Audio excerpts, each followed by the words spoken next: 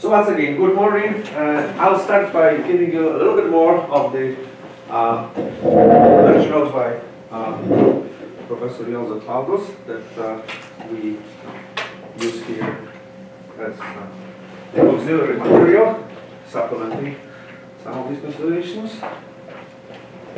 Okay.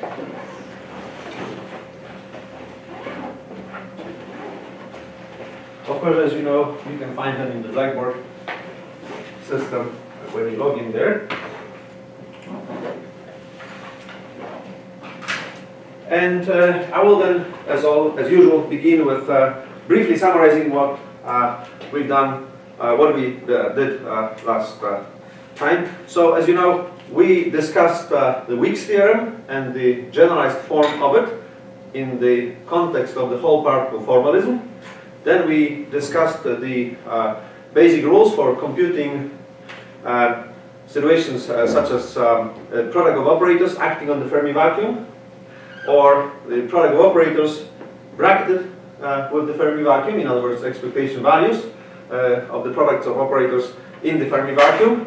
And then uh, we, uh, good morning, and then we started talking about examples illustrating the usefulness of the hole particle formalism uh, in the context of computing various matrix elements, that is, of course, in a natural way. We started with the matrix elements which we already, which we considered before. Uh, essentially, we revisited, we started revisiting the Slater rules, um, and um, uh, to see uh, what is the difference in the calculation of them. If you use the hole particle formalism, we covered, um, uh, we looked at the one and two body operators, and we looked at uh, so far, anyway, we looked at uh, the situation where the two determinants on both sides are identical. So we looked at expectation values of the one and two body operators in the Fermi vacuum. Uh, then we looked at uh, cases where the two determinants differ by a single substitution. So those were the cases where one of the, one of the two determinants was chosen to be a Fermi vacuum, the other one was simply a single excited determinant. And we did it for a one and two body case. And uh, then we started talking at the end of the last lecture about the sort of final case, uh, if you uh, limit yourself to one and two body operators, the final case where we where the two determinants differ by a double excitation, I immediately concluded at the end of the last lecture that if you look at the matrix element of P and a one body operator, one body operator and Phi ij a b. So if you start, if, if this is your matrix element, then we end up with a zero. And uh, morning. Um, we end up with a zero. Okay? And but you remember how we obtained that zero. We obtained it not through some long analysis and a lot of talking, okay? Because all we needed to do is to write this expression and see that phi ij ab is represented by the normal product form of four operators defining it. Then z brings two operators, and by you know by, by means of the generalized Wick's theorem, we cannot contract four operators with the two, so we concluded we can't do it, that means a zero. Okay? So those are very quick analysis illustrating one of the advantages. But um, of course today I would like to look uh, to be complete about this topic. Uh, I would like to look at the matrix element of the same type where we have where we have phi on this side and phi ijab on this side and the two-body operator uh, sandwiched by them. And um, of course, I'll go through it rather quickly because we did it so many times that it, uh, I don't have to go through every detail the same way I did in the beginning of such considerations, but it's still a useful case to see. Okay, so you'll see how, how this works uh, when we look at it. So, of course, as always, we start with the formulas that uh, we consider so many times, you know, a, a, quadruple summation over PQRS for the V. There is a matrix element PQVRS. And then, of course, we have to look at the operator part. So here we have phi. V brings four operators, xp dagger, xq dagger, xs, and xr.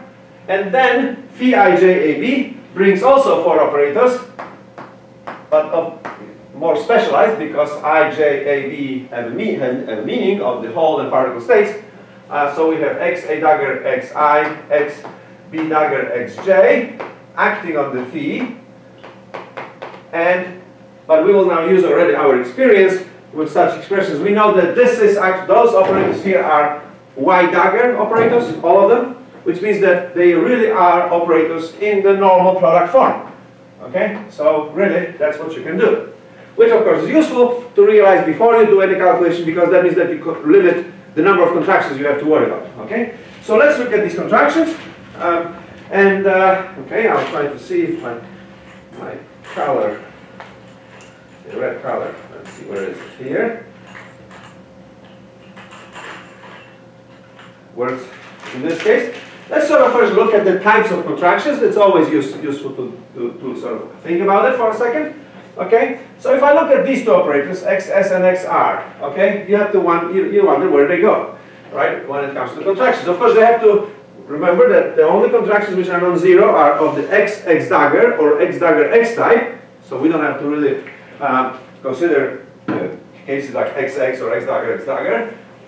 So these operators, you know, where they go? You know, they if they go to in this direction, well, that's not going to be good because then you will you will be forced to contract within this group. You can't do it.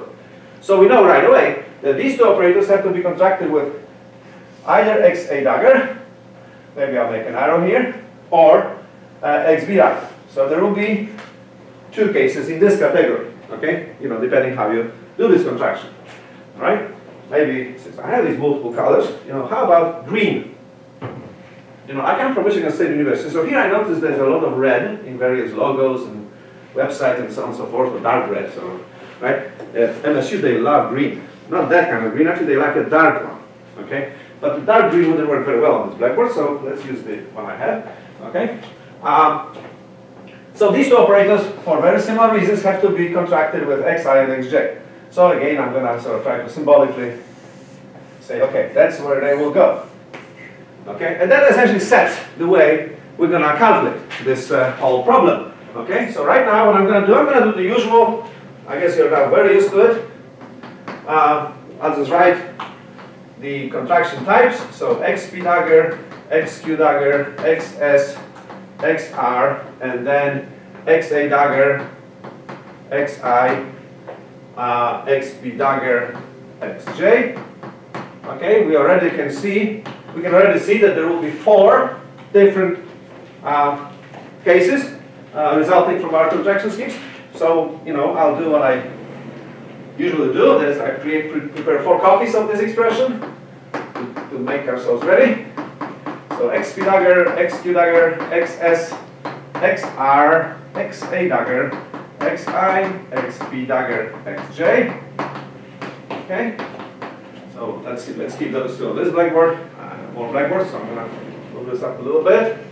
And that's gonna be where we're gonna stick the third case phi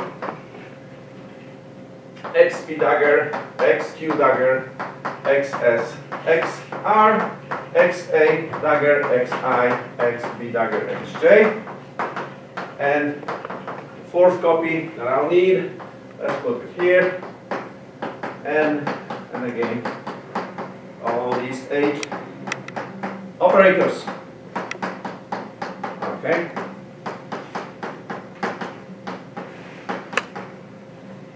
And now let's uh, fill the blanks. So I'm going to go again back to the first copy. All right, maybe I'll start also with the color to indicate what are, what are the contractions that sort of define the problem. You know, we know that x, s, and xr have to be contracted to xa dagger and xb dagger. So how about if we start by put, connect, contracting r with an a, okay, and then s with uh, with a b. Okay, I will not draw more right now. I'll just uh, say, okay, this is certainly one of the cases.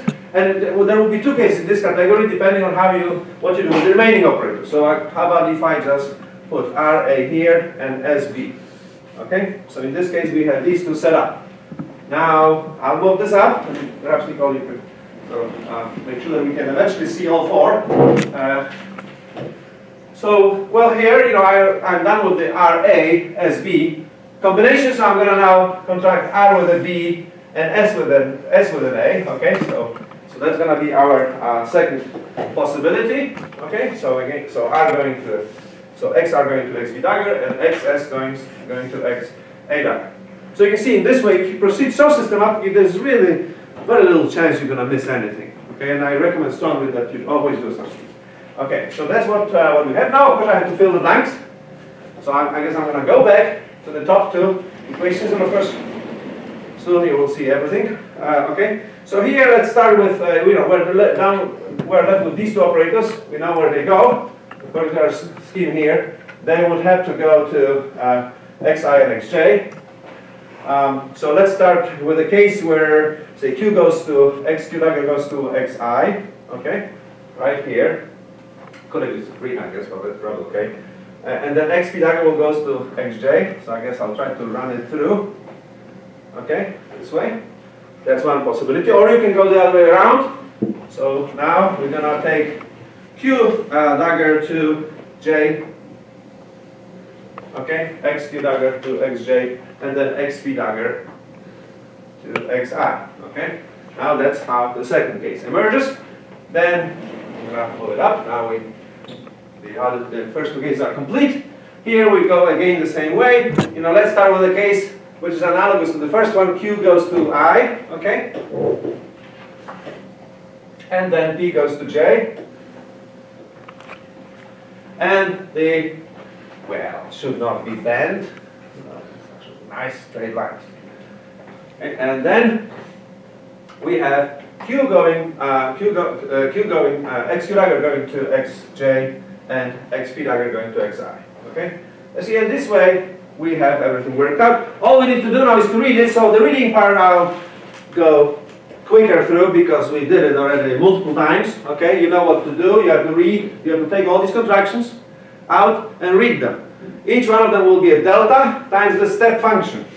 Okay? But if you really look carefully at these cases, these step functions can be ignored in each case because they will assume values of 1. Okay? So I'll go through this uh, now, uh, uh, you know, term by term, uh, writing the results maybe sort of side by side, so we can see what each term is in this way. Okay? So if you look at the, and of course, you know, the one thing that we also always have to remember is the sign.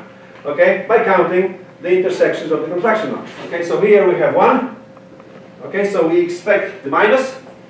I'll write it here. And you can see there will be uh, functions chi p. Okay, so maybe for the first one I'll write it. There's chi p, chi q, pi r, and pi s. Okay, you have to see it here, you know, because, and I'm going to be reading these these uh, terms in the same order as they appear in the matrix element, just to facilitate the rest of the calculation. So we have chi p for xp dagger xj, chi q for xq dagger xi, okay, and then we have pi functions because the remaining two contractions of the x are of the x, x dagger type.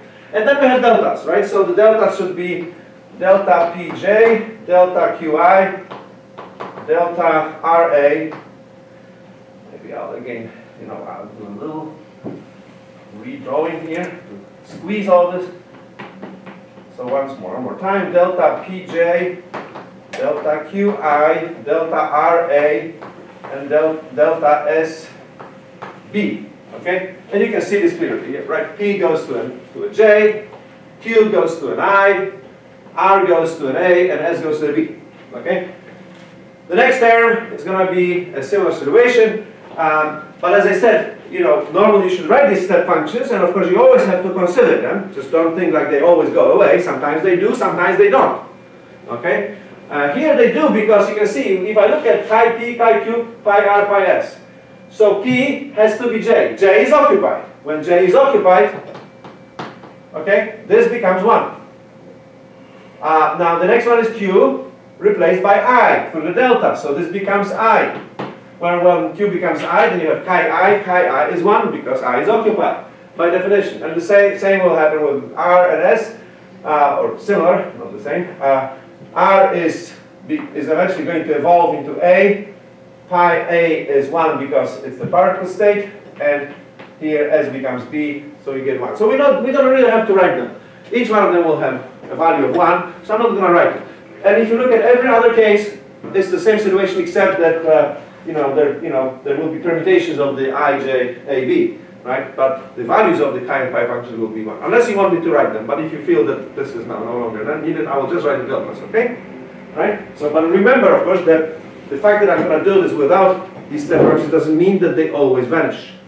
they vanish here because we have a specific set of indices. So the next case, you look at the value of it, we have a plus because we have two, two intersections of the contraction lines.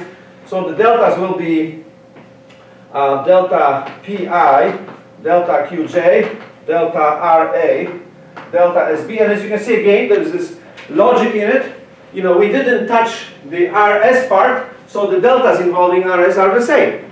But we did flip, we did rearrange the, the um, ij contractions, okay? The contraction involving the xi and xj operators. So there is a change, you can see that j, i are permuted into ij in the same, if you write these deltas in the same order. Okay, so then uh, for the uh, remaining two cases, uh, again, you just have to look at the signs. We have one intersection here, another one here, so that's going to be another plus. Okay, so I'm going to write it here. It's going to be plus delta pj, delta q, uh, I hope I have it right. Yes, qi, delta rb, delta sa. And as you can see, there is a change in the rs part because we changed the uh, the arrangement for the contractions involving xr and xs. Okay, so r now goes to a b and s goes to an a. Uh, q, uh, q, still goes to an i and, and p goes to a j. Uh, and the last one, really, let's go. This is one interesting case. We have one intersection here, another here, another here. So there are three of them. Well, that's a minus. Okay, so we end up with delta pi, delta qj, delta r, b, delta s, a. Okay, again, the RS delta, deltas containing R and S do not change, but we are changing the deltas involving I and J because of the arrangement of the contraction. So we have all these four cases. All you need to do is to add them up, okay? And, uh, you know, in doing this, it's good to sort of organize these terms. As you, if you look carefully, there are two terms, maybe I'll keep this to, uh, where's my pointer? You can see that there's, uh, there are these terms involving Pi and Qj. There's one here. Okay, maybe I'll mark it. Okay. And there is another one here. So we can combine them together. Okay, and I'll do it on this blackboard. So we'll have delta Pi, delta Qj, and uh, the one with the plus gives you delta Ra, delta Sb. The one with the minus gives you delta RB, delta SA, so it switches A and B, really, or RNS, okay? And then we have two cases where we have deltas PJ, so let me write it here, and QI, okay? And again, I guess I'll start with the one with the plus. So uh, that's the bottom one, okay, right now.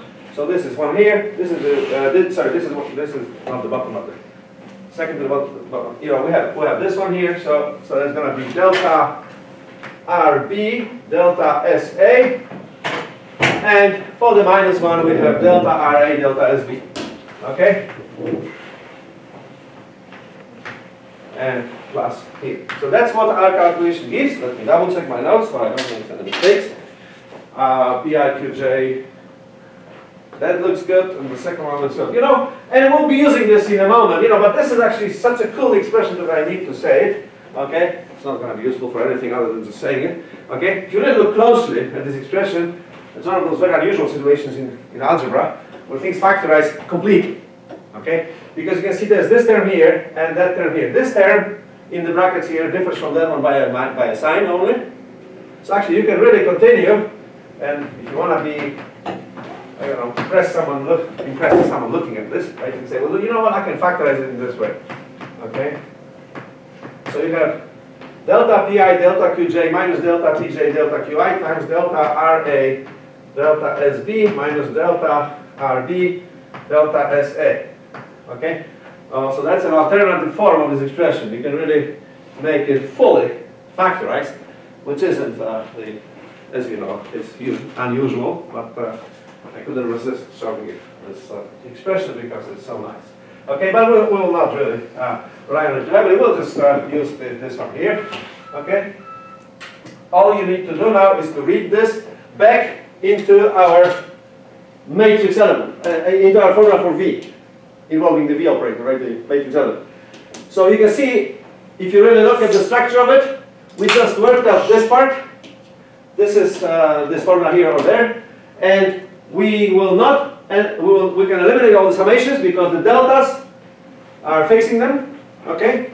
So all I need to do really is to start reading matrix elements. So, so if I continue here, our uh, matrix element phi, phi i, j, a, b equals.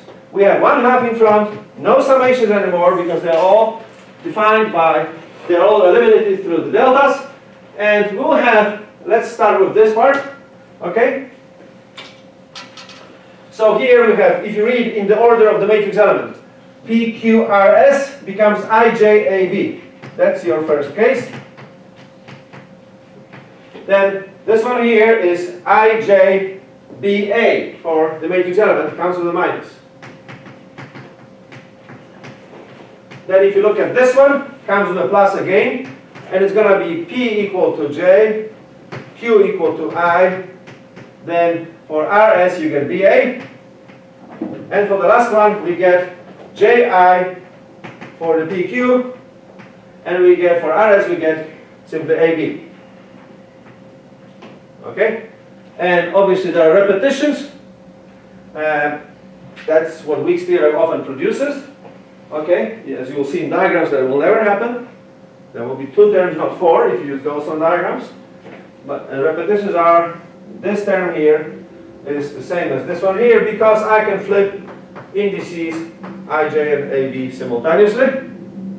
And then for the terms with the minus, this and that, they are also equivalent because I can, for example, flip indices ij and ab here simultaneously, and that will produce the second term with the minus, okay? So that means that I don't need to write all four, I can write only two, get rid of the two, okay? But, you know, we, we, we you know, we're very, we're already experienced with this. You can, if you look at, so I have to write, all, all I need to do is to focus on those two, okay? And you can see what, that the only difference between them is in the sign and in the permutation of AB. So they adapt to an anti-symmetrized matrix element IJAB, which is uh, our final answer. So our final answer is IJVAB with an A symbol, the anti-symmetrized case. You see, you know, after all this work, end up with one matrix element involving the little v, right, that defines the whole problem. Okay, and if you go back to Slater rules that we, you know, derived before using the uh, formulas relative to the true vacuum, we got the same expression, but in a different way. You know, we had to consider many more operators to get there. Here, all we do is uh, use the Fermi vacuum and excitations from it. Okay, so now, now we're going to do something we haven't done. Okay, so all this so far was okay, we did it before. You can say, well, why is he talking so much about it, right? It's kind of boring, just recovering previous results in some new form. Okay, well, so let's now take one step further and do something we haven't done. So if you look at, and you know, as you know, when I started talking about matrix elements quite some time ago, the motivation for them, in particular, was the configuration interaction approach, where you have to diagonalize the big Hamiltonian matrix involving determinants that you use to represent the wave function. So let me remind you, uh, let, us talk about this one second, a little bit. So the matrix element, you know, we have a big matrix, I'm going to try to sketch it this way. Leave some space here, need it. Okay? And, you know, we have in it various matrix elements. So, you know, if we choose some, say, Hartree-Fock state, or some other state that you choose as your uh, reference determinant, it's going to be phi here. And so I'm going to sort of list these first, the rows and the columns that we have. So there's a phi here and phi here. That's going to be your phi phi matrix element, okay, uh, which will be obviously the expectation value of the Hamiltonian, okay, if I'm drawing the Hamiltonian matrix. So let's have the first row and the first column okay, corresponding to the reference. Well then, you will have, if you start with a phi, then there will be all these determinants which are singly excited, or what we call now one particle, one hole, okay? Um, so phi ia, of course for all i's and all a's, then apply, and phi ia here. Okay, that's your next block.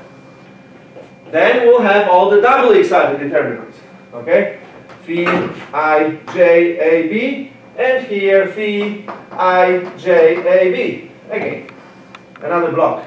Oh line straight more or less okay? And then of course then there will be determinants with triple substitutions quadruple so so of course I'm not going to write them. Let's put dots okay?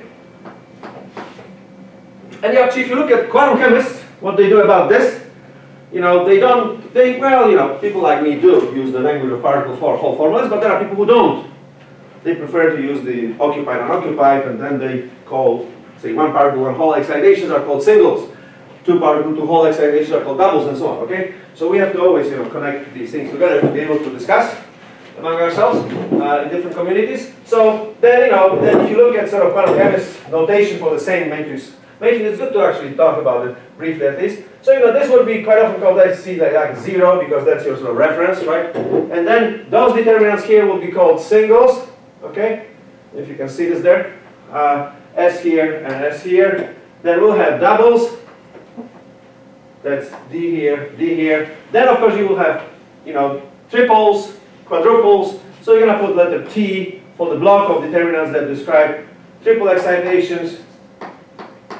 Okay, then Q for the quadruples and so on. So essentially your matrix begins to gain this sort of block structure. Okay, you have a block which I can call here H00, which will involve the you know phi H phi.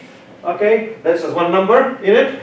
Then you will have uh, you know matrix elements involving reference and singles, so let's call it 0s, then reference and doubles, reference and triples, and so on. Okay?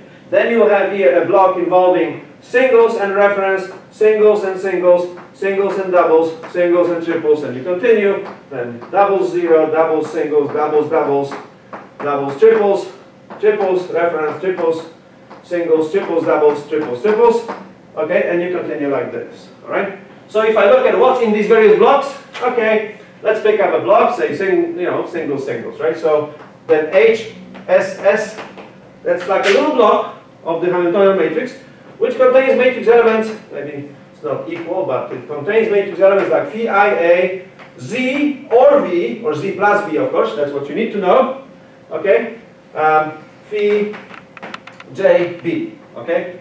And you have to look for every ij and for every ab to compute this. Okay, that's the single singles block. That's if I look at uh, say um, I don't know um, singles doubles or doubles doubles. Let's be a little bit more ambitious. So if I look at this one here, doubles doubles, it's here. Okay, well then that's that you will have to then consider all matrix elements of the ij ab uh, type, right? Where IJ, KL are occupied, A, B, C, D are unoccupied, and you have to do it for the V or Z. Of course, in the end, you have to add Z plus V because Hamiltonian is Z plus V. Always remember that H is Z plus V. So you have to compute it for the Z, compute it for the V, add together, okay? And you can, you know, list uh, uh, other cases, say, you know, singles, doubles, uh, you know, singles here, and doubles here, and so on. Now, why am I talking about it? Because here you have actually two different ways to proceed. You can say, okay, I don't need to worry about the Fermi vacuum. I already know Slater rules. So when I compute these various matrix elements, okay, I just have to say, what is this determinant relative to that one? You know, little analysis. Do they differ? If they differ, how much they differ? Uh, and we know the Slater rules. Okay? And if they differ by more than, say, two substitutions, we know zero. So lots of, there will be lots of zeros in this matrix. It's a very sparse matrix. If you go away from the diagonal far enough, you're going to have nothing there. So we are, you know, we have to always keep in mind that those are very sparse matrices when interactions are two-bodied. Even if they are three-bodied, it's still sparse considering the, the size of the Hilbert space. Um, but that's one way to think about it. So in other words, use Slater rules simply by analyzing each of these matrix elements, which category it falls into. But there's an alternative approach, which sometimes is beneficial. How about if I define my ref reference determinant a priori, that's going to be my Fermi vacuum, which I will fix, and then I will simply compute these matrix elements directly, as I'm writing them, like saying, you know, this one or that one, where each of the determinants is formally an excitation out of the field. Okay? This is particularly useful actually in theories like MBPT or coupled cluster. You know, in CI we can argue which way is the better way, okay? But definitely for methods like MBPT or coupled cluster, which are built on top of the Fermi vacuum, then we, you, would, you would really choose this way. In other words, you would start with a phi, define it a priori, and then build on top. Okay? So we have to, it would be nice to learn, perhaps, how these matrix elements look like when we compute them. See, before we didn't, you know, if you look at the formulas relative to the true vacuum, you don't really have a mechanism how to do it. You would really have to now write each determinant as a product of recreation operators acting on the true vacuum, okay? But that's, that means that you would have to analyze each determinant. Now I don't have to analyze them. I know that each one of them is an excitation out of the phi. So all I need to do is to uh, utilize our knowledge about particle hole uh, theory. So let's do this. Let's start with the first case.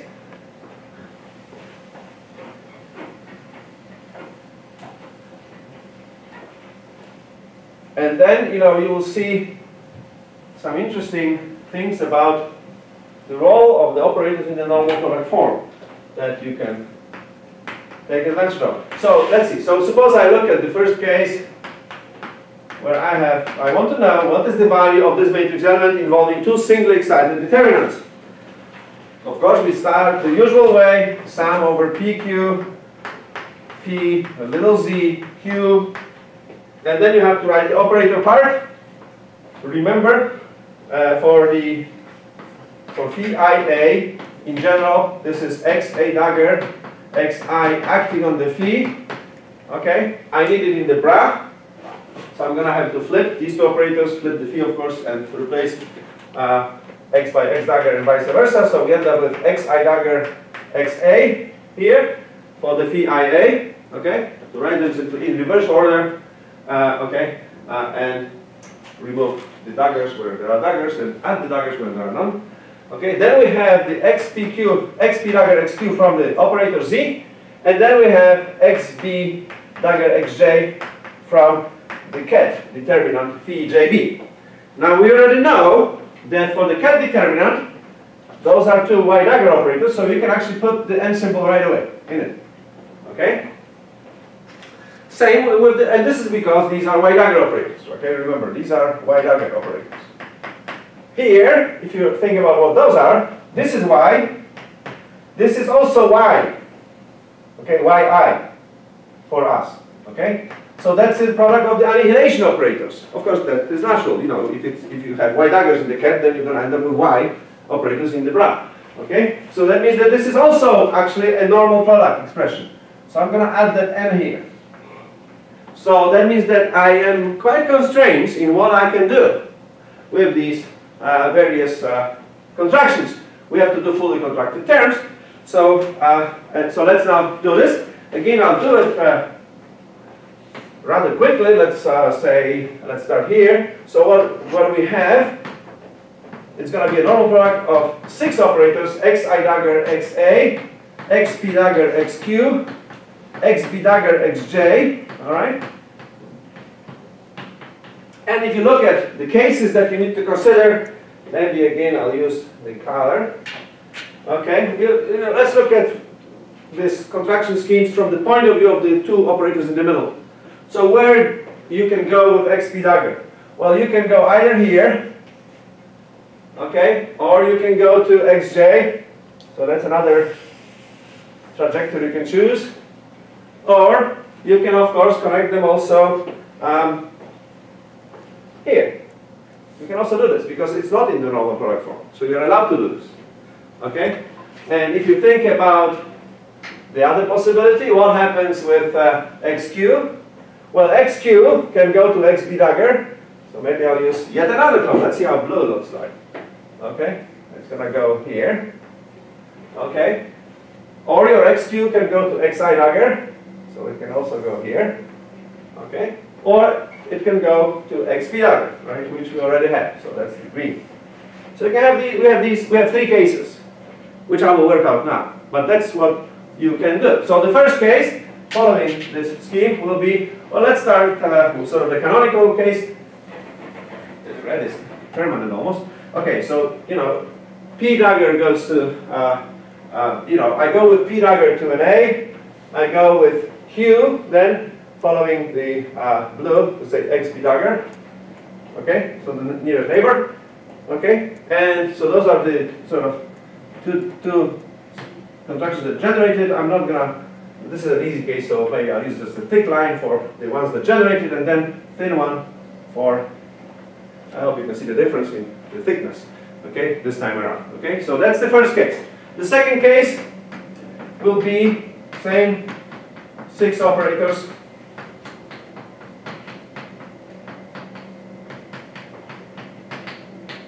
Now, we're going to go the other way. That is XP dagger, as you know, it can go to A or it can go to J. So that's what I'm going to do now.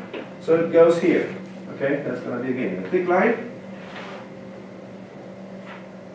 And then with the Q, uh, you can go to I Okay? Um, yeah, so as you can see here, with Q, we can go to I. Okay, so that's going to be another thick line. Let's make it thicker. And then, of course, we're left with uh, the remaining two operators, XA and XB dagger, some thin line, thin line for them. And then there's the third case. Maybe I'll just write it here. Uh, and yeah, squeeze it here. It's actually very straightforward. XI dagger XA, XB dagger XQ, XB dagger XJ, where we will now contract, that's the green line, P with a Q, okay? So that's going to be our contraction that determines everything else. And the rest of the operators, you know, you cannot contract these two together because they are in the n in the n group. You cannot contract those two together, so you have to uh, contract the cross. You're left with only one option. xi dagger goes to xj, and xa goes to xb dagger. And those are our three cases. There are no other three cases. There are no other cases. So the first case goes with plus. The second case goes, if you count the intersections, one, two, and three of them. So that's a minus. And here we have no intersection, so that's a plus again. Okay, so let's then read the result.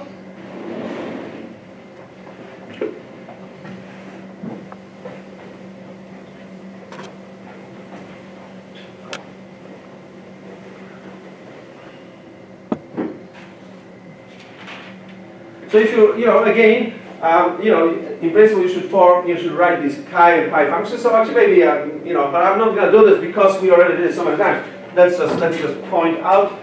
I'm going to just write the deltas. You see, if I write here, for example, the, the, the this one, the, the i dagger j, okay? There is certainly a delta, so I can write delta ij, but, and then you would have to write the chi function, chi of i, but chi of i is 1. So I'm not going to do that, okay? Then we would have delta AP. This is for this, this uh, thick line contraction, okay? But again, you end up with pi A. Pi of A is 1. I'm not going to write it. So, and then finally we have, uh, we have delta QB. And once again, if you look at QB, you end up with pi, with, with, pi of q, but it's really because of the delta, it's pi of b, pi of b, b is unoccupied, pi of b is 1. So I'm not going to write the delta either. So that's what you get for the first term. In the same way, for the second term you get delta AB, delta IQ, delta JP. You see this through the contractions. No need for step functions because they're all 1. And then in the final case we get um, um, delta ij, so that's a nice one you know, I runs into J, A runs into B, and then you have this contraction. You see, for this one, you cannot get rid of this step function because P and Q are undefined, you know, they, they're generic symbols. So you still have to say it's going to be a chi P function times delta Q, PQ. That's how all these terms look like, right? Now all I have to do is to stick them back into the top expression, the matrix element over there, Okay, and as you can see, the result comes out pretty much up in no time. You have PIAZ PJB equal. For the first term, you know, I read from here, is delta ij, then I don't have to write summation over PQ because P will be A, Q will be B. And I'm done with that one. Okay? For this next term, I have a minus here, I have minus delta AB, and then again, I write the matrix element of Z, P will be fixed at J, so you write J, Q will be fixed at I, and you're done with this case. And the last case is really the one that requires some comment in the context of what I'm going to say next. Okay, you see there's delta PQ, so you, do, you know very well that you end up you cannot eliminate the summation completely. There are two summations over P and Q. delta PQ reduces this to 1 over, say, P. Okay? We agree on that. So we end up with the diagonal matrix elements P, Z, P. But this is still not correct because there is a step function which says shrink that summation to occupied states only. Okay? So because of the chi, you have to say that your P belongs to the set of indices which are occupied in the phi. Okay? Well, that's very interesting. Can you tell me what is this? What's the meaning of it? Yeah, it's a number, but what is the meaning to this number? What is it uh, in terms of the quantities we already calculated? No, no, no, no, it's another number, there's a z in the middle. If there was no... the expectation value Yes, of? of z. That's right. So, you know, it, there's a meaning to it. This is actually the expectation value of the z operator, the big Z, in the phi. Okay? Well, oh, that's interesting. Because the question is, is it an accident? It's just good lucky or something? Or is it a rule? And I'll tell you now, it's a rule. Because you, you know, so, you know, what you see here is the following. Our matrix element equals, now these two terms which involve the, you know, matrix elements of the, uh, of the Z, and they can be off diagonal because A does not have to be B here, okay, in your calculation, right, unless you choose Z to be diagonal in a basis set. That can happen. Quite often people choose for convenience, some sort of a one-body operator that can be diagonalized with spin orbitals that you use. But we're not doing this here, we're not making these kinds of assumptions, no need. But the third term has a clear meaning. It's delta ij delta b times the expectation value of the z. What is what are these deltas? Can you tell me what do you think this is? And I'll start writing here the final result and let you think. Broken. This one. What do you think? How what what could I write instead of the product of deltas? Of course, you know, that's sort of a question that which we may have multiple answers, but um, in our context, what do you think? When we compute this matrix element involving phi IA and phi JB, what do you think we could write instead of the product of the deltas, ij and b? Any idea?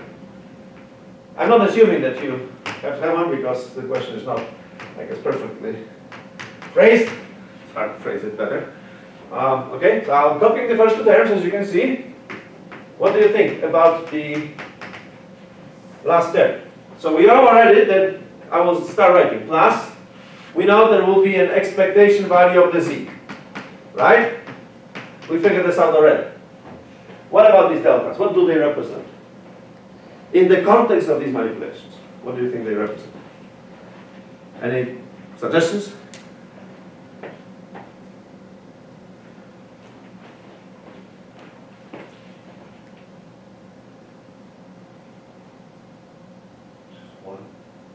No, it's not one because I can be different than J and A can be different than B.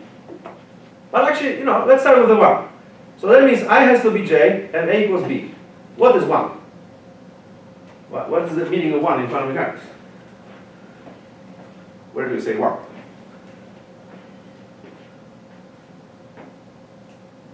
When you normalize the wave function, you get one, right? Don't you? When it's normalized. So if, but think about it. So when i equals j and a equals b, you should get one here. That means two identical determinants. So what do you think happens when i is not j or a is not b? What should I write instead? Yeah, but how, what should I write? Inner products. Huh? Inner product. Yeah, inner product, yeah, tell me, dictate, please. Inner product of I and J. IA with JB, right?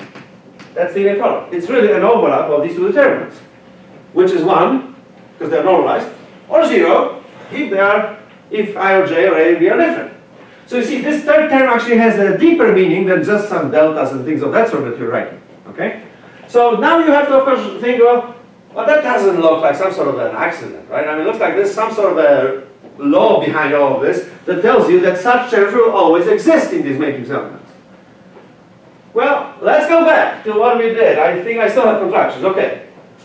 How did, tell me, again, I tried to probe you a little bit. How do you think, how did you end up with the third term?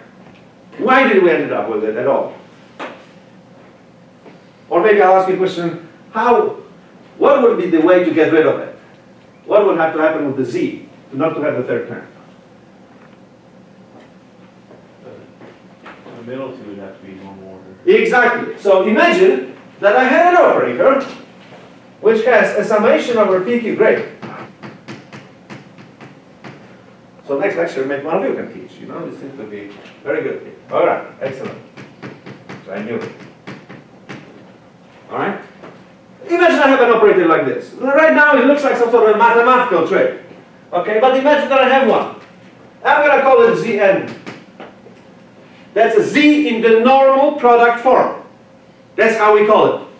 You see, if we, if our z in the beginning was zn, not z, the third contraction would not emerge. So how does it emerge? It emerge, emerges because the difference between z and zn is an expectation value of the z.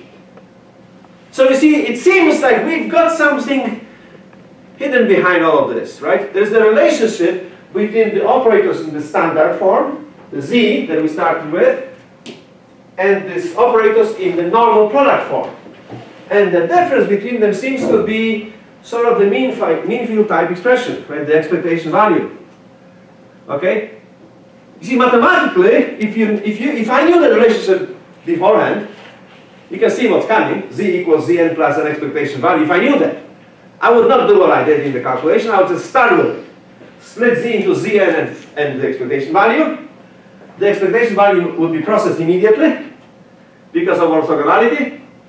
And the Zn would be the only thing I would have to focus on, two contractions in this case. Well, you can say, well, not a big saving, 30% of 33% of the work.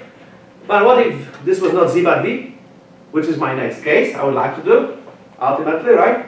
You remember the single singles with the V in the sandwich between them? Well, you know, I could do it, but you know, can you imagine when V is not in the normal product form, you have four operators here in the middle two x daggers, two x's. Then you have to consider all the contractions among them. But these contractions, there will be many of them now.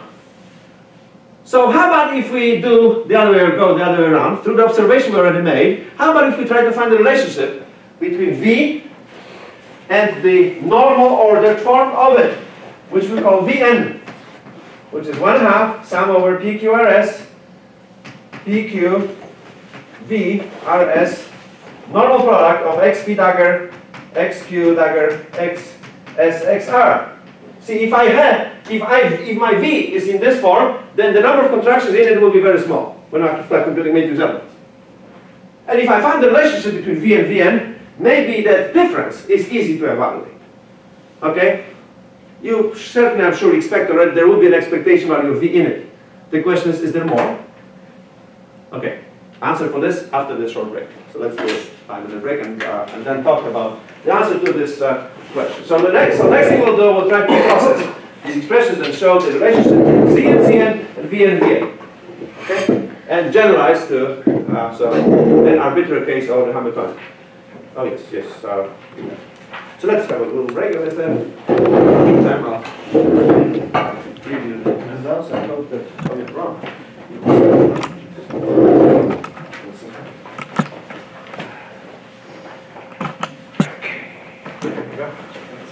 next chunk Okay. So instead of there being an exponential dependence of the number of things Yes. or the operator, this will be linear. Yeah, it will, sh- well, I, you know, I didn't really estimate, so that's a good question. Yeah, how many terms? Uh, there must be some recipe for it. Uh, but you're right, that's the shrinkage, because the, the, the actually, you, you, I'm sure you crossed it, yeah, because w- what you can see happens is, we will see that the, this operator, which you can call, some people call it the true two-body interaction, or the residual two-body interaction. It's a two-body interaction above whatever mean field provides. You know, mean field provides two-body interactions. We should never forget that. You do an expectation value of the Hamiltonian in the, in, in the determinant. There is a two-body piece, the Coulomb and exchange terms. So some information is there. But the question is that, of course, that's not everything. That's just the mean field part where physically the interpretation of it is that they say electron in a molecule moves in the average field of all the electrons. Okay?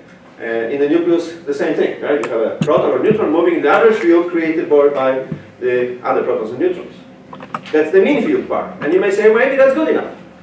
Well, we know very well that it's actually not good enough, right? It's almost never good enough, right? Because chemistry is the, is the science of electron correlation. Binding and everything else is correlation. It's not really, not, you know, what's in the mean field is not really so interesting in chemistry. Because what's in it is all that chunk of energy, 99% of it, that is actually rarely released in any process. Because we don't blow up molecules in chemistry into individual electrons, so we don't really care what's in the mean field, we care what's outside it.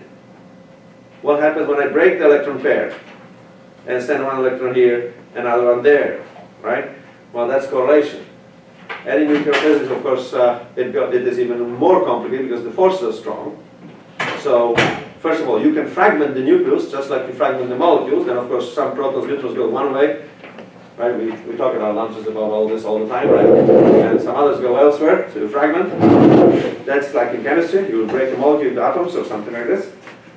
But uh, there's more. Force itself is so strong that uh, the mean field, the Hartree-Fock energy, right, when you look at the binding energy, is just a small fraction of the total uh, energy of the nucleus. You know, uh, you know, in oxygen nucleus, and it goes with the mass, right? So uh, you recover more in say helium than you recover in oxygen. Oxygen, I think it's like what is it, 550 mega electron volts is the binding energy at the Hartree-Fock level when you convert it with the basis set and the rest, and the rest is actually a lot, because the binding energy is about 127 mega electron volts. So the rest, 77 MeV, is in the correlation. Right? Um, uh, and that is, but the value of it sort of is, is a measure of the strength of the interaction itself. Okay? Uh, so this is uh, what we have to worry about. So, so you're right. I mean, so what happens is that these are the, these sort of residual interactions. They're so really you can no longer simplify. You know, the you know we're going to be bearing some two-body, say, interactions in the mean field components of the V, right? But our focus, really, if you really think that where do I have to focus, the focus should be on that Vn, because that's the part of the interaction which I cannot represent in any sort of mean field, some sort of integrated form.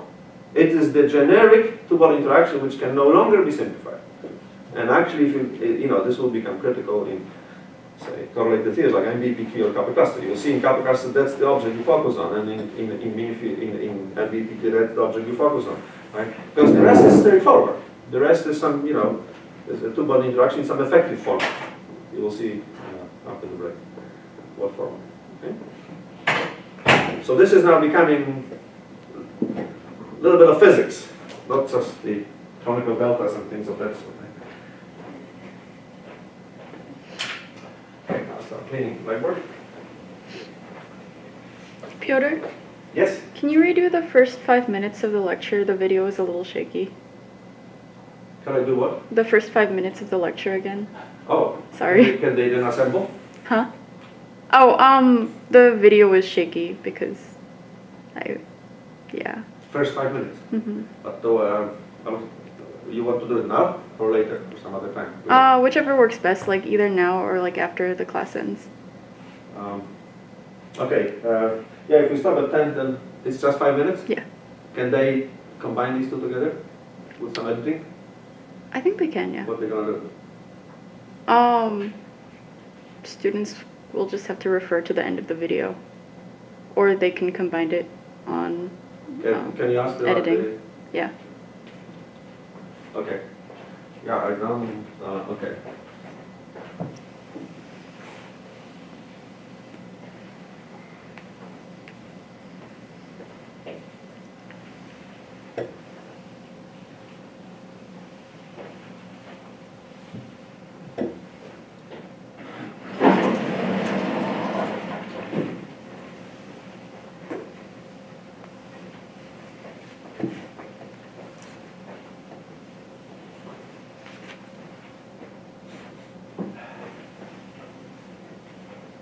I mean, you know exactly. It, it, I would have to see where it ends, I guess. Because you know, so there is a. Is it so shaky that we can't see anything? Um, So what's shaking there? Camera was shaking? Or? I was trying to readjust the camera because it wouldn't pan up, Okay. and that just kind of shook the video. So that's a maybe not, no, so now I would have to continue further, right? Yeah. And then maybe Just at the end of class. then we'll, uh, I hope that, uh, the next class will let us, uh, for five minutes, okay?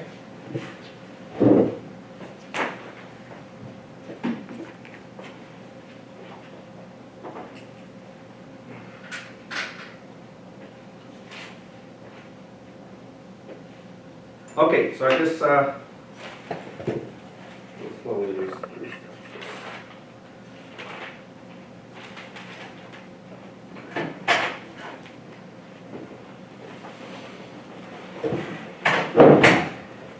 Okay, so can I start, you know? All right, so, you know, so what we did is, um, we, uh, we already expect that there is a relationship between the one and two mode operators, for example, in the normal product forms. If we find it, there will be benefits because the numbers of, the number of contractions that we have to consider will be um, much smaller than in the case of the standard form of operators. So let's then uh, see what these relationships between Z and Zn and V and Vn uh, and so on are. Of course, you know, we always have to keep in mind that some operators are already in the normal product form. We already actually talked about this. You know, for example, the operator EIA, which is XA dagger XI, which defines the singly excited determinant. If you apply EIA to phi, that's the singly excited determinant. Okay, this operator uh, is already in the normal product form. You can add n here because both operators are in, of the Y dagger type. Okay? I call it EIA, so please get used to this notation because whenever we'll be writing excita- operators that excite fermions out of the Fermi vacuum, sometimes we'll be writing them as X dagger X pairs, sometimes to the symbol E, which essentially means excite from I to A. Okay? Uh, in general, if I have uh, a situation where I want to excite n fermions,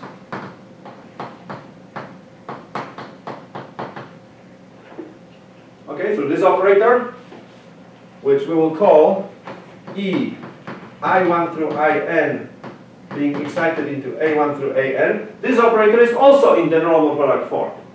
Okay, that is, I can put N here because all the operators in it are Y dagger operators. All of them are Y dagger operators. Okay? Um, so there's not much work to do here. And maybe since I'm talking about it, let me just mention that if you really look carefully at this expression, it's really a product of these x pairs. So we can also write this in this elegant form where I'm forming the product of one body excitation operators, EIA of this type. I form a product of n copies of them, okay, and that produces the n-fold excitation operator, okay. So please remember about this too. It's useful. It's going to be useful later, okay. So these operators are in the normal product form. We don't have to spend much time on them. So the question is, of course, what happens to generic operators like Z and V? You know, we know that Z is certainly not Zn. We already know the difference. It's going to be an expectation value of the Z. V is not Vn. Okay, so we have to know what the, what the difference is. Let's start with Z. We already know the result, but it's good to see it formally. So we have P, Z, Q. Then we have the normal product. We have uh, XP dagger XQ. And then what, what, what we're going to do is we're going to use Wick's theorem to the X dagger X pair. Okay? So we know that, uh, so the first part doesn't change, it's the summation over PQ, P little zq. But for the operator part, xp dagger xq, I can write two terms from Wick's theorem. The normal product, xp dagger xq, plus the normal product with contraction of xp dagger xq. Okay? That, that, this is what Wick's theorem tells you uh, you have to do. So then we have a summation over PQ, P, Z, Q, and then you can see that we end up with the normal product of XP dagger XQ. This is going to be the Zn. And then for the contraction, here, let's start writing. We have a summation over PQ, P, ZQ. and the contraction itself gives us the chi function, chi p times delta pq. Okay? So that's what happens um, in the second term. So as I said, the first term, we already see, this is the Zn operator.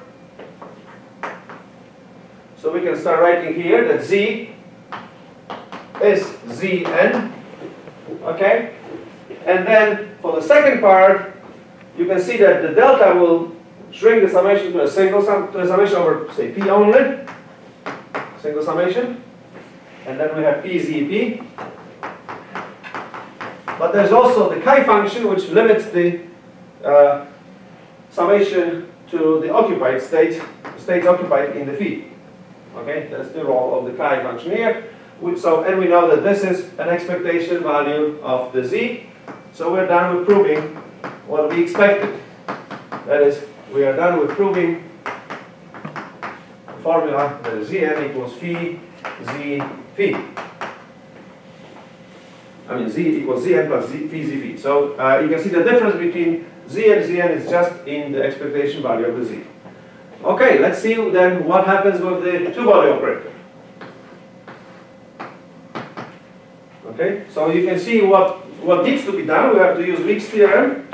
So let's do this. It's going to be 1 half sum over PQRS, matrix element PQ VRS.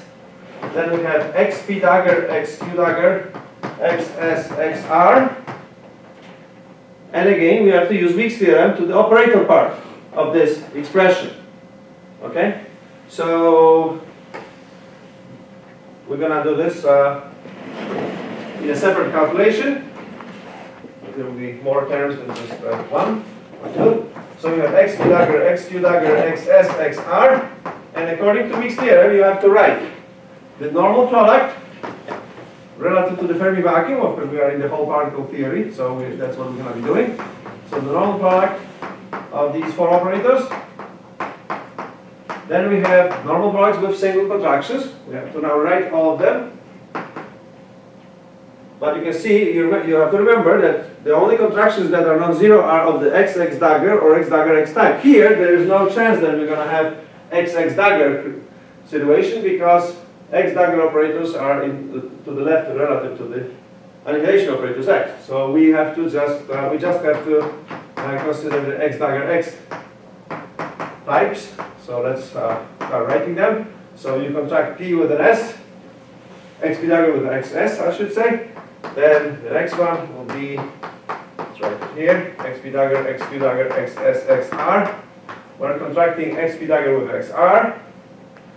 Then two more, with XP dagger, XQ dagger, XS, XR, where we contract XQ dagger with XS.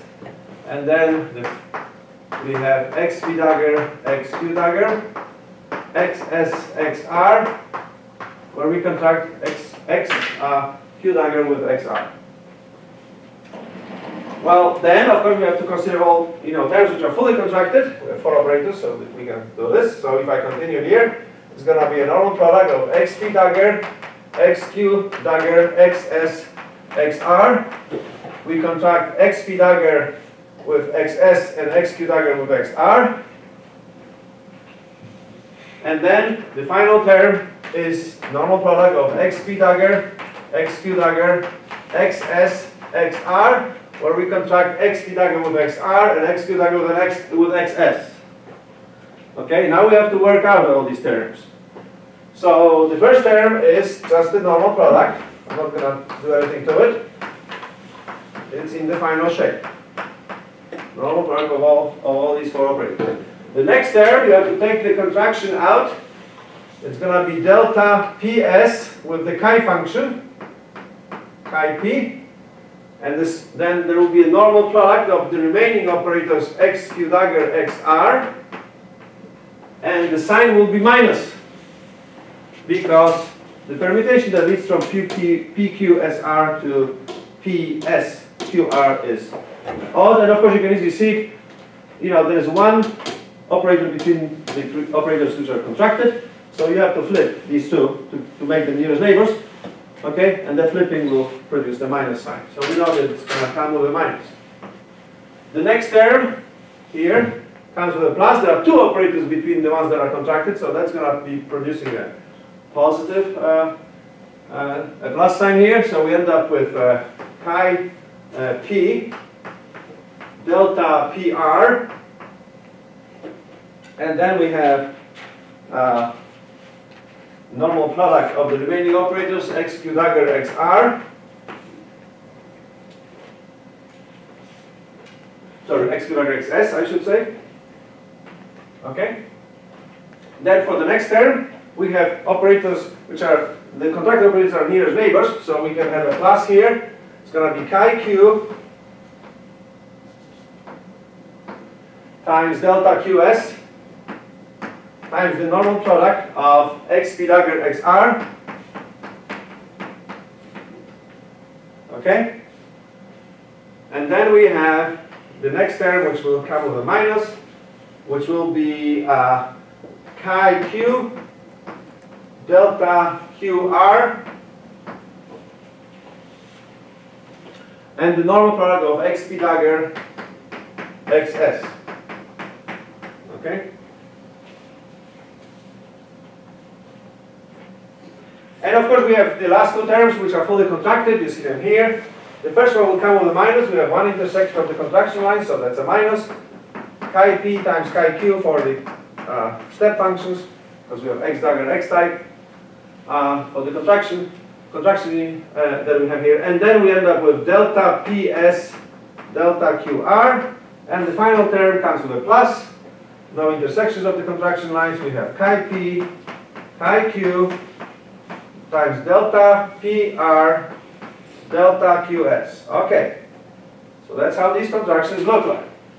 Now I'm going to move here, I guess, and we'll see what is the consequence of having all these terms on the operator V. So maybe I'll finish it off by writing this in a more, slightly more compact form. So we have a normal product of xp dagger, xq dagger, xs, xr. Okay? Then for, uh, we can see that there are two terms here which have, uh, which have uh, chi p functions in them. Okay? So, you know, there's one here and one here. So I will take this uh, chi p, I write it outside, I'll choose the plus, and, and, and uh, what's in the brackets then is, is uh, delta p, uh, what is it, delta pr, normal product of x q dagger xs, okay, that's what you see here, and then we have minus delta PS normal product of x uh, q uh, x uh, uh, x q dagger xr. Okay, so that's the, the first. The, those are the first two terms here, the ones that go with chi p, and then we have two terms which contain chi q. I'm going to write the next plus chi q, and then we have for those, uh, let me mark them. It's, there's one, one here. I'll just green color here. So that's this one and that one. Okay. The one with the plus gives us delta QS, normal product of XP dagger XR. And then we have minus delta QR, normal product of XP dagger XS. Okay? So that's this one here, delta QR, XS. And the final two terms, you can see they also have a lot in common. We have chi p times chi q. And what is left is delta PR delta QS minus delta Q delta PS delta QR. So those are the remaining two terms which are here underlined in red. Okay? Grouped together. So, well, that's as much as we can do from Wick's here. We're going to write this inside the formula for the uh, V operator. Let me maybe clean this part of the blackboard. So that we have enough space to start writing the result. Okay? All right, so what do we get? V equals V is still here, so you have you have one half summation over PQRS matrix element. Okay, so I'm going to copy that.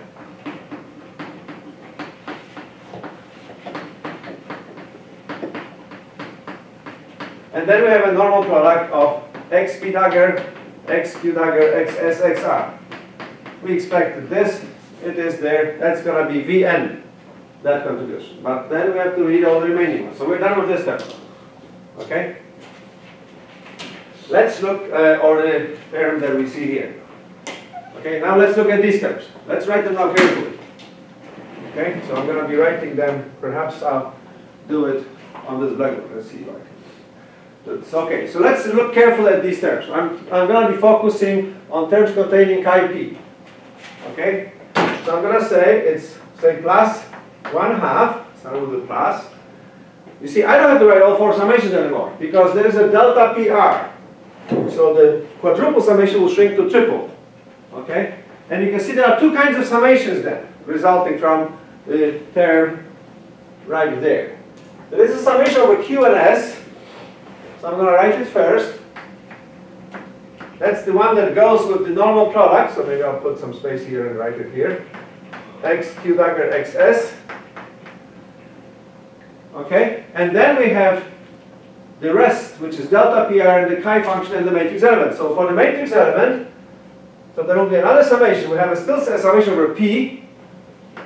Okay, and then we have the matrix element P, Q. I didn't eliminate those indices. Now for the R, I have a delta there. Okay, so it's going to be, for the R, I'm going to have P.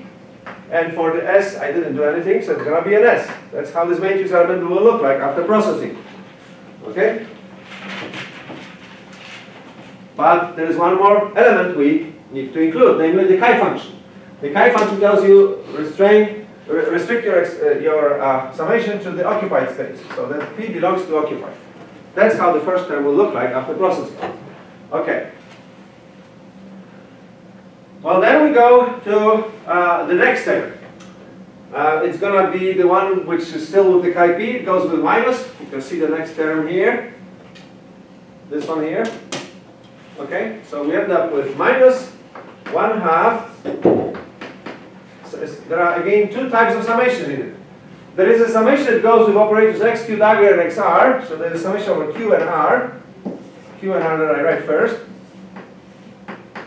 Okay, and the operator of n, x, uh, q, dagger, xr. And then we look at the matrix element. Okay, and you can see that uh, we have P in it, we have Q in it, then for R, we, we have R, we're summing over R, so there's going to be an R, but S is gone, because S, there's delta PS there. The delta PS sets it at P, so I'm going to write it as RP, and we have to sum over P, which is again occupied, because of the chi function present, right? The chi function is here. It is in front of both terms, this one and that one, okay? So that's how the second term will look like after processing. Then, then we go to the terms that contain chi q. Okay, in the same way. So you will have, uh, the next term will go with a plus, so it's plus 1 half the summation over, again there will be two kinds of summations. There is a summation over PR and the summation over, uh, over uh, Q because of the presence of the chi function, that summation over q will be limited, will be uh, limited to the occupied states in phi. Okay, and then we end up with the following matrix element. We have P, we have Q, V, and then for we have R. We're not, we didn't get rid of R, but there's delta QS. Q, S is S in this term has to be identical to Q. So I'm going to write Q here, and then the normal product of uh, x p dagger xr. Okay, so that's the third term, and we need one more. Maybe I'll try to write it here, we'll be coming back to it. So the last term is minus one half, again, two kinds of summations. Uh, we're, we're talking about the expression here. Okay, we're summing over PS.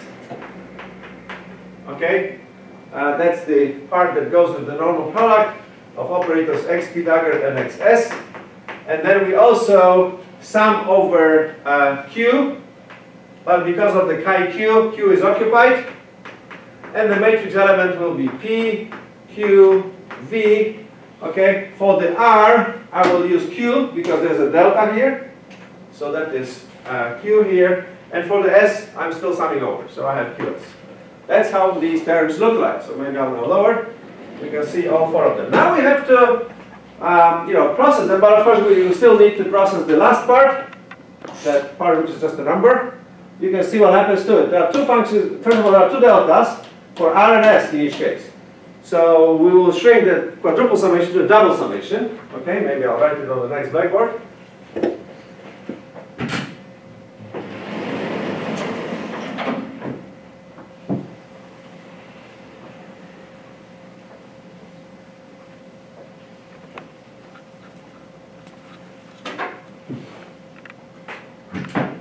So on the, you know, what we have there is, uh, we have still plus one half.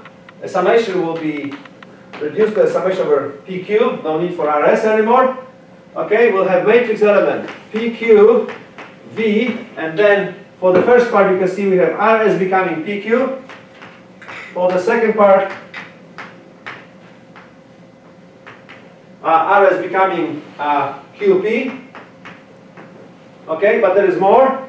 There are also these chi functions which say make P and Q occupied. So I'm gonna say both P and Q are occupied. Okay. So now we have to read all this and interpret it correctly. So when I start writing the final result, I can say that V certainly equals Vn. Okay, we already talked about it. The first term is Vn. Okay? Then we have four terms that we need to work out. Okay, we'll do this in a moment. Okay, at the end we'll have this term. But if you look closely at this term, this term here is, you know, the matrix element here is an anti-symmetrized matrix element PQV PQ. When you sum these anti-symmetrized matrix elements all together, you have, and have one half in front, you end up with an expectation value of V. Okay? So the last term has a clear meaning. Okay? This is expectation value of V. So we know that V equals Vn plus some terms plus expectation value of the V. We just need to know what these terms are. Okay, so let's go through it. You know, they kind of look different, but they have something in common. You clearly see that they are all one-body uh, operators of some kind. The question is, are they all different or can we make them identical? Let's start with the terms which go with a plus. Okay, let's start with these two. Okay, I'll be going carefully with index substitutions so that you're going to see the differences or similarities. Okay, let's do this for first one.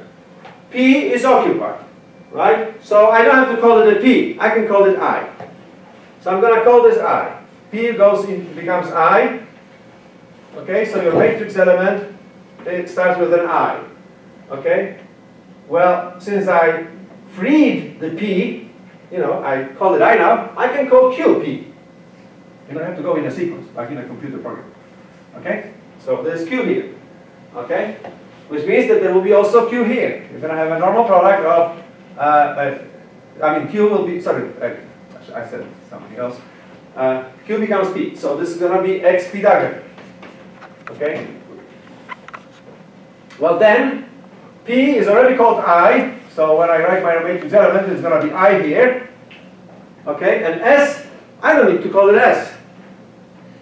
I can now call it Q, because I got rid of Q in my relabeling. Okay, so S will be called Q. Okay, and this becomes then XQ.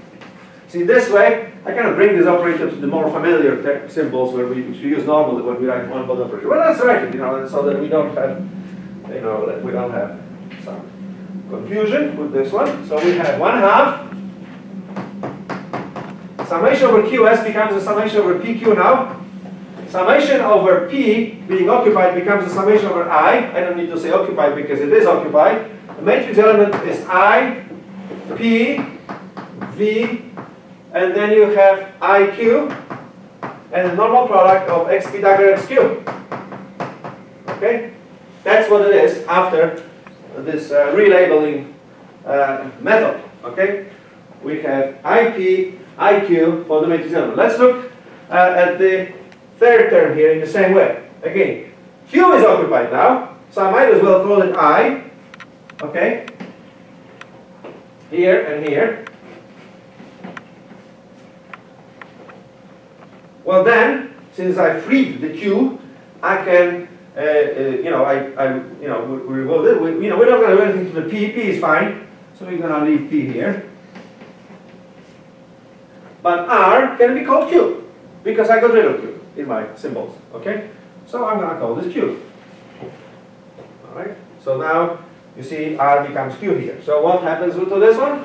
We end up with plus 1 half sum over PQ sum over I. We have now matrix element is, is PI V uh, QI times the normal product of XP dagger XQ. Okay? Remember, we are processing the third term.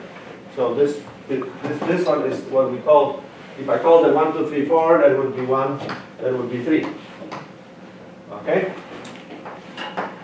Well, then we're left with the remaining two terms, okay, which are coming with a minus sign. So let's look at those two. Again, same analysis, okay? Um, the first thing you do is P is occupied. So I'm going to call this I. Okay, so there's one here, one there. Then I freed the P symbol, so I can use, I can relabel and call Q. I'm going to call it P. Okay, so this is all going to become normal product of XP dagger. And then R, okay, I don't need to call it R, I can call it Q. A lower letter simply because I have it available now that I freed the Q. So it is this, okay? That's what the next one is. So we end up with minus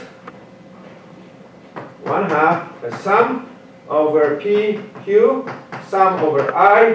The matrix element is, what is it? Uh, IPQI times the normal product of XP dagger XQ. Alright? And the final term uh, can be relabeled in the similar fashion. You can see here Q is occupied, so I'm going to call it I here and here.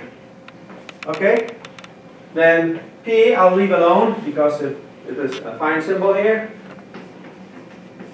But Q, and Q, I guess, uh, sorry, and S, uh, you know, we don't need to call it S. Q is re replaced by I, so I can call S now. I can call it Q. Okay? So here we also end up with a normal product of XP dagger XQ. That's what this is. So the final term is minus 1 half uh, sum over PQ, sum over I. We have uh, PIIQ. And then we have a normal product of XP dagger XQ. Okay? So that's what we get for these four terms. So if I call this uh, again, what we did, we did 2 and 4 now. So well, that's your 2, and that's a 4. Okay?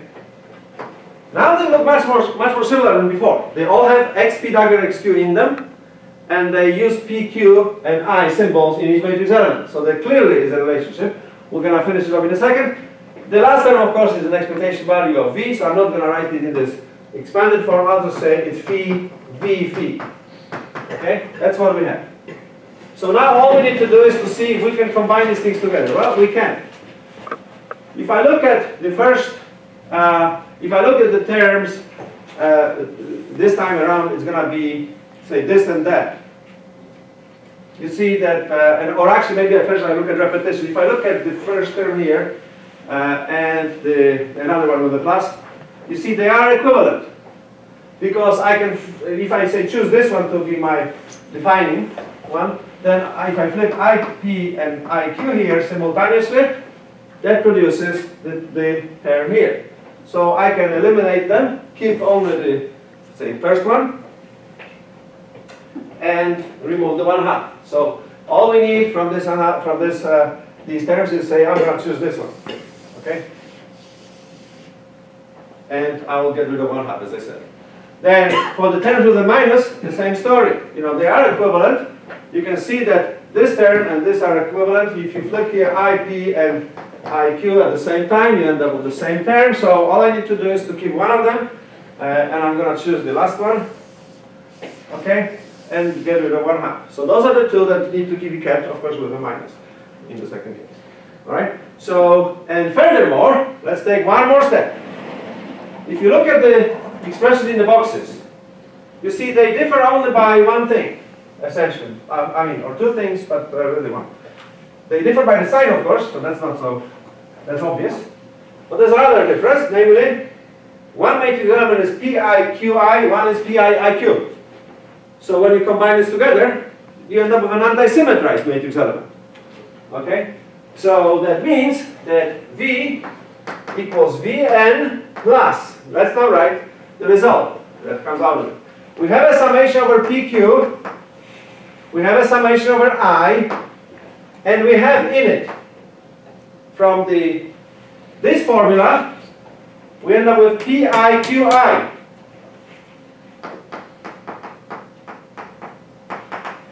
From this formula, we end up with PIIQ with a negative. That means we have an anti-symmetrized matrix element altogether. Okay? And then we have a normal product of XP dagger XQ. That's what this term is. To emphasize that there's sort of an inter internal part in it, I'll put these brackets here, because this will be the corresponding matrix element of the one body operator. And then we have the expectation value of phi. Sorry, of V. Well, you can see that something very interesting emerged here. V splits into Vn, and the expectation value of V, but there's also one extra term, which is a one-body operator here. Okay, I'm going to call this one-body operator Gn. Okay, and it's an operator which has very, which is defined through a very interesting matrix element. So it's a one-body operator formally. It has only xp dagger xq in it, so that's one body. But the matrix element is not a simple matrix element. Uh, it's a matrix element which is defined through two-body interactions, integrated over. Okay, it's a summation over i of pi v qi. So in other words, you obtain these matrix elements by integrating your two-body interaction, okay, over the orbi uh, orbitals i and you sum over i. So you see, this is a, a, a one-body operator which contains information about the two-body interaction, but in a mean field manner. You know, if you really think about the process it describes, you annihilate. So you have a spin orbital. So you want to have uh, uh, two, you know, uh, uh, one of the term. Spin orbital goes from left from state q to p. Okay, so you go from q to p, but you do it in the presence of all the i's, which means in the presence of the mean field. It's an operator which is not as simple as the other ones because it contains information about the Fermi vacuum. This operator will change if you change the Fermi vacuum, because then you'll be occupying some other states. Your mean field will be different. Okay? So this is uh, the meaning of the operator. So in other words, our sort of final big formula is that the two-body operator V can be represented as Vn plus Gn plus the expectation value of the V. Okay, so V equals Vn plus Gn plus the expectation value of the V, where Gn is defined on the other blackboard. Okay, so there is an intrinsic two-body part, there is an effective one-body term which contains information about the mean field, and then there is an expectation value of V. And I guess the time is uh, up, so we have to stop here. Next time we'll talk some more about the consequence of this for the Hamiltonians. Uh, and then we'll go back to, and you will then see how easy it is to calculate matrix elements when you can split B, for example, in the form we just discussed, okay? All right, so thank you very much. See you on Friday.